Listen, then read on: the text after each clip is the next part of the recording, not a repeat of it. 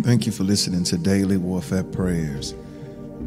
Today, I want to simply uplift, I want to encourage you with the Word of God.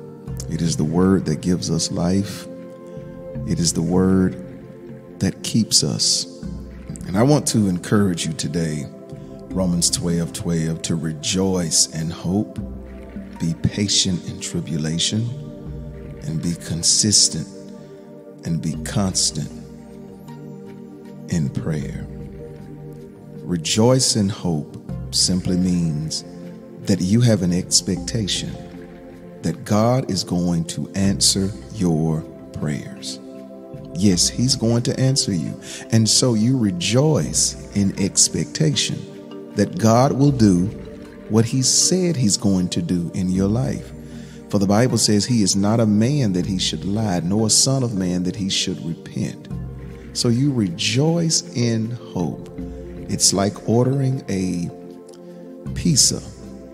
If you place an order for a pizza to be delivered to your home, you expect that pizza to come. You don't hope that it might arrive to your address. No, if you place your order, you expect to get exactly what you ordered.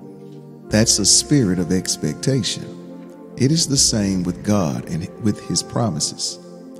You rejoice in hope, Romans 12 12, meaning, I expect God to do what his word declares he's going to do in my life. Then it says, Be patient in tribulation. I know that you're facing trials and there are all types of things that are going on in your life. But the word tells us to be patient, wait on the Lord. And then it tells us to be constant in prayer. That simply means we are in connection, we are abiding in Christ, we are in communion with Him constantly. That's what the word tells us. Galatians 6 9, it says, Let us not grow weary in doing good for in due season we will reap. We're going to get it. We're going to get the promises. We're going to experience the answered prayer. We will reap, but it's conditional. If the Bible says we do not give up. Galatians 6 9. So the important thing is not to give up, to keep praying.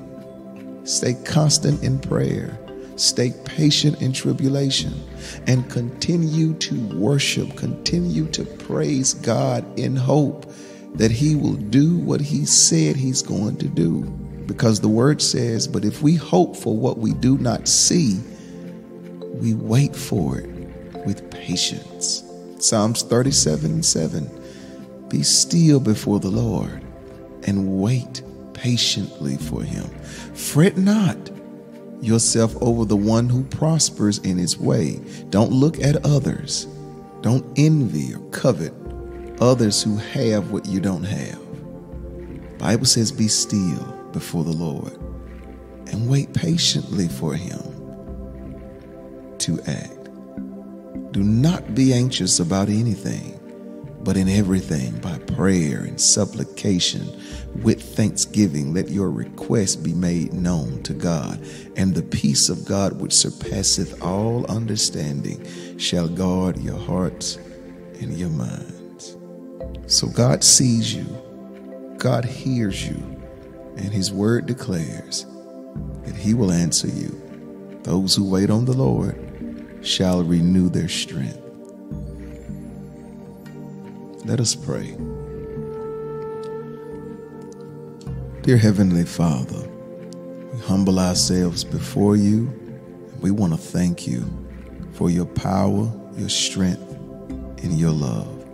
In the name of Jesus and by the power of his resurrecting, saving blood, I apply the word that is in Psalms 27 and 14 to wait for the Lord, be strong and let your heart take refuge. Wait for the Lord.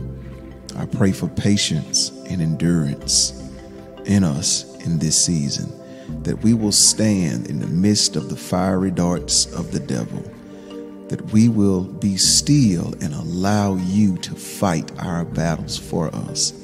I pray that you would teach us to be patient, teach us to continue to endure, to look to you, so that through our endurance, you would produce godly character in us.